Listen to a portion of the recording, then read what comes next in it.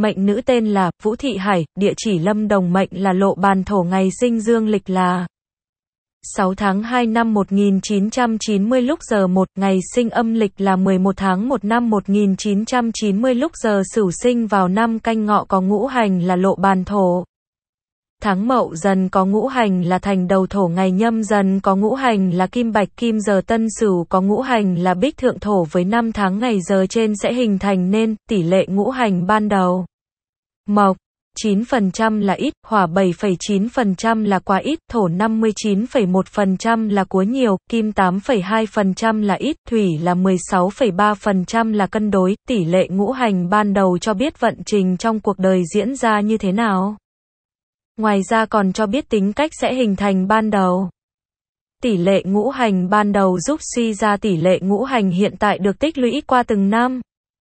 Nguyên nhân tỷ lệ ngũ hành mỗi năm biến động là do hai yếu tố, một là do vấn đề thời gian, hai là do môi trường. Tính cách thông qua tỷ lệ ngũ hành ban đầu của mệnh lộ bàn thổ có nhiều ngũ hành thổ là thổ chủ về tín, tính tình đôn hậu. Người thổ thịnh thì thắt lưng tròn, mũi nở, lông mày thanh tú.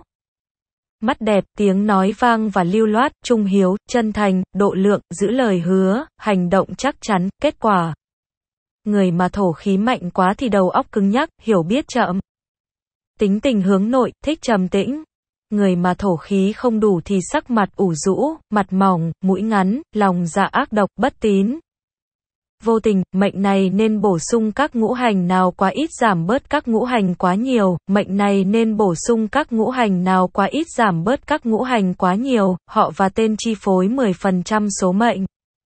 Họ tên và địa lý làm cho những người có cùng thời điểm sinh ra có số mệnh khác nhau theo thời gian, họ đại diện cho tổ tiên họ mà tốt thì được tổ tiên giúp đỡ.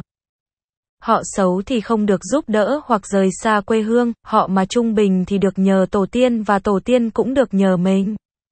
Họ vũ đối với mệnh này là trung bình ngoài ra họ vũ ý nghĩa có nghĩa là mưa là khúc nhạc, cũng bao hàm nghĩa về sức mạnh to lớn cũng thể hiện sự cố chấp ngoan cường ngũ hành thuộc thủy sinh ra mộc, được kim tương sinh nhưng kỵ với hỏa và khắc với thổ.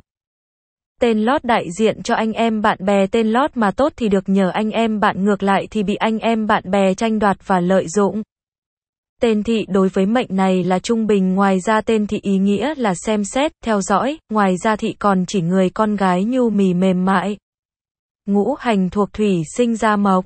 Được kim tương sinh nhưng kỵ với hỏa và khắc với thổ. Tên đại diện cho bản thân và thành tựu tên cũng như khát vọng của cha mẹ. Tên mà tốt thì có được thành tựu. Tên xấu thì vất vả gian nan, nên chọn các tên phù hợp để có số mệnh tốt hơn. Tên Hải đối với mệnh này là trung bình, ngoài ra tên Hải ý nghĩa là biển, thể hiện sự rộng lớn, bao la. Tên Hải thường gợi hình ảnh mênh mông của biển cả, một cảnh thiên nhiên khá quen thuộc với cuộc sống con người. Tên Hải cũng thể hiện sự khoáng đạt, tự do.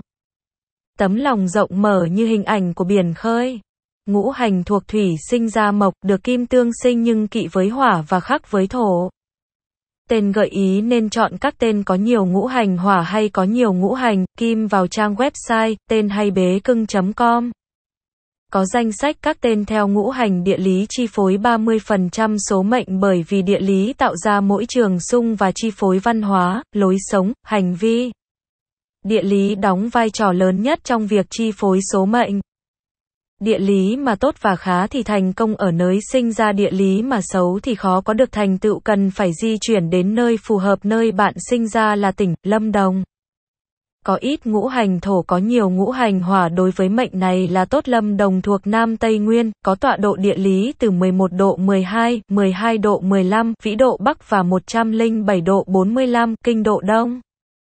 Phía đông bắc giáp với tỉnh Khánh Hòa, phía đông giáp với tỉnh Ninh Thuận, phía tây giáp Đắk Nông, phía tây nam giáp hai tỉnh Đồng Nai và Bình Phước, phía nam và đông nam giáp tỉnh Bình Thuận.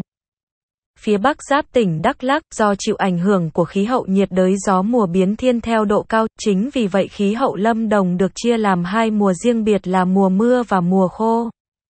Mùa mưa thường bắt đầu từ tháng 5 kéo dài đến tháng 11, mùa khô từ tháng 12 đến tháng 4 năm sau. Nhiệt độ cũng thay đổi rõ rệt giữa các khu vực, càng lên cao nhiệt độ càng giảm nhiệt độ trung bình năm của tỉnh dao động từ 18-50 C, thời tiết ôn hòa và mát mẻ quanh năm, thường ít có những biến động lớn trong chu kỳ năm.